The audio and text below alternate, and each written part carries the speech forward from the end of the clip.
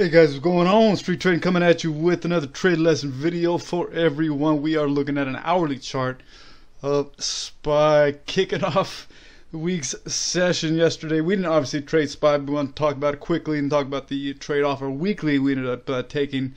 It was almost a gimme, uh, but so we're going to get into that in a second.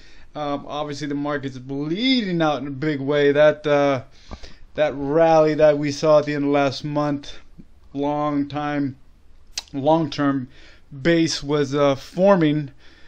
Obviously, the Bulls were looking for another rally off the base, but we got a rally base drop, swallowed the lows, and now we are deeply heading into the threes.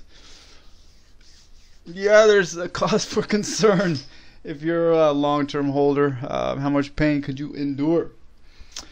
Anyway, uh, off our weekly, we, we didn't have many. We had uh, like what five on the weekly. Uh, a couple performed very very well. The one that we ended up taking uh, was just a just a clean uh, rejection of a uh, of a key level.